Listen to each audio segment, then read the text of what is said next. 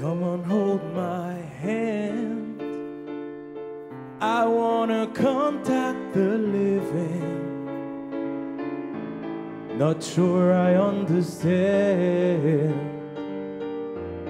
this role I've been given. I sit and talk to God, and He just laughs at my plans. My head speaks the language I don't understand. I just wanna feel real love, feel the home that I live in. Cause I got too much life